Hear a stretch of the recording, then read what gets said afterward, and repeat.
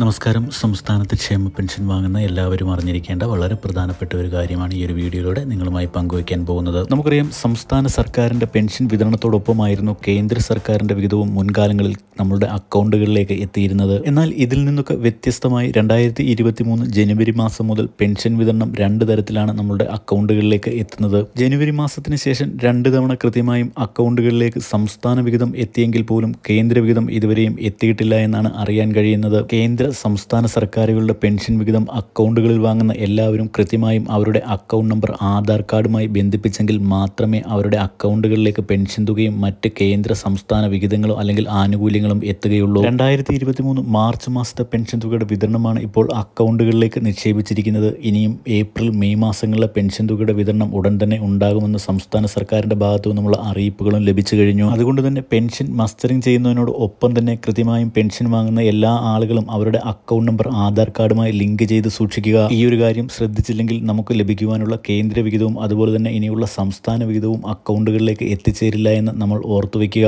മുൻപ് ഒരു വട്ടമെങ്കിലും കൃത്യമായും ആധാർ കാർഡും അക്കൗണ്ട് നമ്പറുമായി ലിങ്ക് ചെയ്തിട്ടുള്ള പെൻഷൻ ഗുണഭോക്താക്കൾ ഇനിയും ചെയ്യേണ്ടതില്ല എന്നുകൂടി മനസ്സിലാക്കി വെക്കുക വളരെ പ്രധാനപ്പെട്ട ഒരു അറിയിപ്പാണ് ഈ ഒരു വീഡിയോയിലൂടെ നിങ്ങളുമായി പങ്കുവച്ചത്. ഇത്തരത്തിലുള്ള എല്ലാ അറിയിപ്പുകളും നിങ്ങളിലേക്ക് എത്തുന്നതിന് വേണ്ടി ദയവായി ചാനൽ കൂടി ഒന്ന് സബ്സ്ക്രൈബ് ചെയ്ത് സപ്പോർട്ട് ചെയ്യുക. വീഡിയോ ഒന്ന് ലൈക്ക് ചെയ്ത് കൂടി കാണുക.